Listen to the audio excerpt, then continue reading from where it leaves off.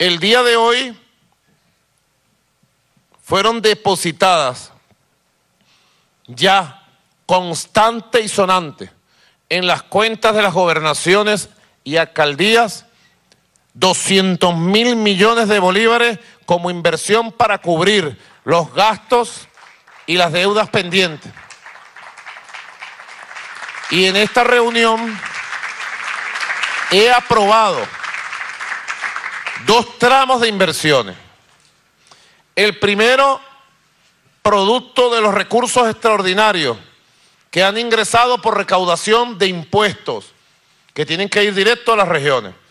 Y se trata de 200 mil millones extraordinarios que de manera inmediata voy a aprobar y van a las alcaldías y gobernaciones para la inversión y el pago de deudas pendientes.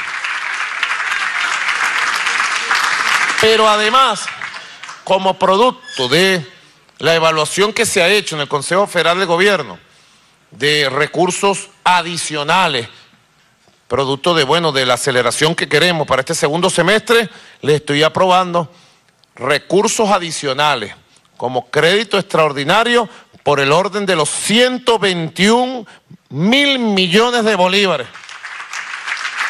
Esto suma, atención Venezuela, esto suma la cifra de 521 mil millones de bolívares para gobernaciones y alcaldías.